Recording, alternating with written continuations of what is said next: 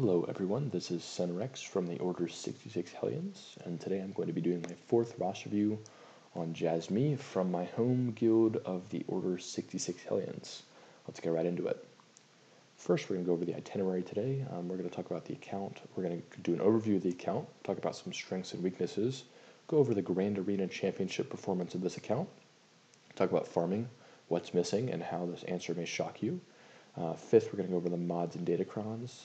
And then six, we're going to talk about moving forward what I would do with this account.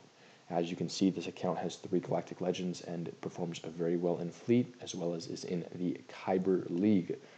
So for this account's GP, its performance is very, very, very good, as well as the fact that it is really not all that old of an account.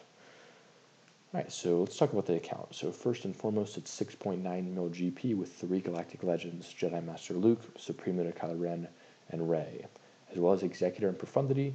I have no idea what the account's farming, as it appears to be equidistant from about 3 to 4 Galactic Legends. It is in Kyber 4, around 30, th sorry, 3,060 Grand Arena points at the time this video is being recorded. Um, the owner of this account, she always runs the Territory War bot, so I really enjoy that because I am a huge fan of Territory War, and the fact that Jasmee always runs the damn Territory Bot is much appreciated because every time I go in and look at the look at the bot commands to size myself up against our opponent in Territory War, it's already been done for me, and I'm just super grateful for that. Grateful for that. On top of that, the account has a very, very, very solid mods. So let's talk about some strengths and weaknesses. Obviously, modding is a strength. They got a 4.26 mod score, which is very high for this range of GP, as well as this young of an account. Their fleet arena is score is very good. They're a consistent top tier placer. And I've said this twice already, but this account is newer. It is, I believe, under three years old. Star Wars Galaxy Heroes.gg has it started in October of 2021. So for how new this account is, it is very, very good. But there are some problems that come along with being a, an advanced account like this that is fairly new. GAC, it is uh, 3060, Kyber 4, which is nothing to scoff at for a 6.9 mil GP player. According to my best estimates, um, this account is lower than 95% of the people in Kyber 4. Additionally, this account has lots of Rise the Empire characters, proving that the player that owns this account is a team player, and this account has amazing farm completion, meaning just about every single farm that this person has started, they have finished all the way to completion. Weaknesses would be a lack of datacron depth, not many high-level datacrons, specifically in this new light side focused datacron set, which I believe would really benefit this account. Second, Galactic Legends. They've got three Galactic Legends. None of them are the are none of their Galactic Legends are what I believe are in the best three Galactic Legends. That being Jedi Master Kenobi, Lord Vader, and Jabba the Hutt.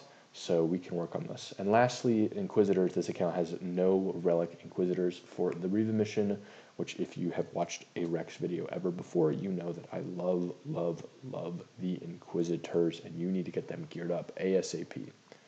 Let's go over GAC. So there's a little bit of a, a stagnant score going stagnant score going on here. The account fluctuates between 3,000 and 3,100, as well as the account clearly does not enjoy 3v3s as much as 5v5s, as there is a correlation between uh, lower the, the account tends to participate lower in 3v3 Grand Arena game modes. Um, how do they fix this? First of all, I'd recommend setting a heavier defense to put the burden of the mistakes on your opponent. A lot of these a lot of this account's 3v3 Grand Arena matchups look like they go into the 2000s of banners, which is very, very high. If this account was putting everything on defense, they could probably hold their opponent to under 1,000 banners pretty easily and make it easier for them to make up that time or make up that deficit on offense as they would need to clear far less squads. Um, this is a really solid strategy as for low level players, you really want to put the burden of performing successful counters on your opponent as they have a lot more roster to work with. So they can afford to be less careful and meticulous, meaning that they're more likely to make mistakes. So if you're the lower level roster, you always want to be putting your best foot forward on defense, as this is going to force your opponent, who has much better characters uh, and a lot more characters, to be on their toes and counter you more proficiently if they want to win. And if they lose a couple battles, it's likely that they're going to either A, quit because they are frustrated or B, go into a death spiral of losing battles over and over again. Lastly, I would recommend attacking later in GAC. I feel like psychologically this gives you a really good advantage against your opponent, and allows you to win more grand arenas. Additionally, try to care more about 3v3. I know 3v3 sucks, but sometimes just participating can help you win a lot more efficiently. That's farming. So let's talk about farming and what's missing. So this account has a really, really, really unique thing that I've highlighted here in this image. So basically, their characters go from gear 13 to gear 8, I believe, in about three rows. They have very, very, very few gear 12 characters, and the characters they do have to gear 12 appear just to be their Ewoks for the C3PO mission.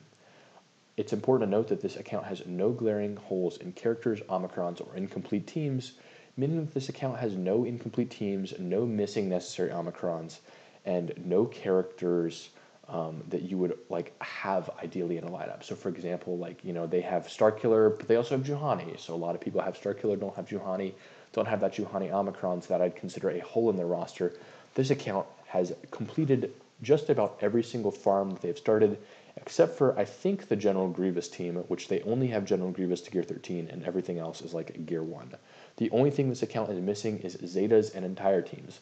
Zetas because, as previously discussed, this is a newer account which means that they have not had enough time to accrue the zetas like the rest of us. They are gearing their characters up quicker than they are obtaining zetas to apply on those characters, which leads to a huge deficit in characters lacking zetas. As you can see on this page, a lot of long long-term, a lot longer-term players would have the Zetas on General Grievous as well as Canderous and Mace Windu. Meanwhile, this account simply lacks those Zetas, as well as entire teams, meaning that um, if this account is missing a team or character, they're they have they're missing the entire thing. They don't have you know any pieces of any teams together. It seems like they've just farmed every team to completion, and that is where they stop. Let's talk about mods and datacrons and mods. They have an amazing mod score. What I believe is happening on this account is much like my own account is that the owner is taking characters to Gear 13 more efficiently than they are modding them. So in this case, I'd recommend, just like myself, a little bit of increased vigilance on the modding end. For example, they have a Relic 4 Captain Rex, who is a brand new character, amazing, but his mods are very, very, very lackluster. Now, this is a problem that a lot of people in the game are having now, as it appears that it's easier to take characters up to Gear 13 and Relic them than it is to get a good set of mods on them. And since our modding standards have increased so drastically back in the day, these mods probably would have been okay to have on a character like Captain Rex.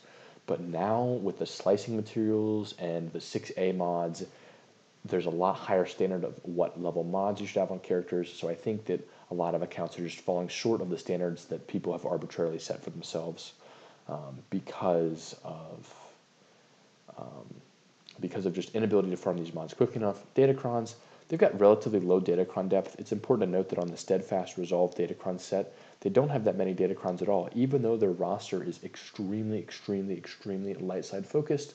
If I was in this person's shoes, I would certainly recommend investing heavily in light side datacrons. That would greatly benefit the roster, and the Steadfast Resolve datacron set is exclusive to light side characters. So let's talk about the direction moving forward in this account. First and foremost, I have two screenshots here that show all of the Rise of the Empire niche characters that they have up to Relic. They've got Rose Tico up higher than she needs to be, Luminar and Dually to Relic 7, Hoth Rebel Soldier to Relic 7, First Order SF TIE Pilot to Relic 7, Dengar to Relic 7, Aurra Sing to Relic 7, Kuiil to Relic 6, Vandor Chewbacca to Relic 8. A lot of characters like this that are just super, super, super niche and really only used for Rise of the Empire characters. So if I was in the shoes of the person running this account, I would certainly um, recommend not. I would certainly recommend pausing um, relicking these Rise of the Empire characters as they have a lot of characters. They have almost as many characters up to Relic that are useful as characters that are up to Relic 7 just for Rise of the Empire operations, which is very interesting. So if I was in this person's shoes, I would certainly not be volunteering to Relic any more Rise of the Empire operations. You have clearly done your fair share. Moving forward, if I were you, what would I do? Um, first and foremost, Inquisitors. I'm always going to say Inquisitors if you don't have them. Huge, huge, huge investment. Next, I'd go two, three, and four all go together. I'd recommend General Grievous and Friends, and as well as Wat Tambor, you can get your General Anakin Skywalker. Wat Tambor is not necessary, but you have him at level one, and if you take him to Relic or just put a Zeta on him, he's going to be extremely helpful in boosting the overall power of your roster in certain niche scenarios. Wat Tambor can make an ineffective counter totally work as well as the fact that he really, really, really boosts characters like Supreme Leader Kylo Ren, Sith Eternal Emperor, as well as Jedi Master Luke in 3v3 Grand Arenas. Um, General Anakin Skywalker, since your roster is so light side heavy, I would strongly, strongly, strongly recommend getting General Grievous and his friends up to Relic and then working on General Anakin Skywalker because since your roster is so light side dependent, there's a million teams that you could slot GAS into where he would be effective. Lastly, once you finish those, I'd recommend going for Leia or JMK. Me personally, I think you should target Jedi Master, or sorry, Leia, because she is, or sorry, the this account is very close to to Jedi or to Galactic Legend Leia, and that's going to be an extremely useful character in the new raids, as well as something nice to have sooner than everyone else because people won't know fully how to respond to this character. Thank you guys so much for watching. As always, I'm doing free roster reviews, so comment your Star Wars Galaxy of Heroes.gg in the description below, and I will get to you ASAP to do a roster review. I've got four more of these that are going to be recorded in the next few days. Lastly, a little guild plug. If you're tired of not getting all the Reva shards, join my guild, the Order 66 Hellions. Discord link in the description below. Thank you guys so much for watching, and have a great day.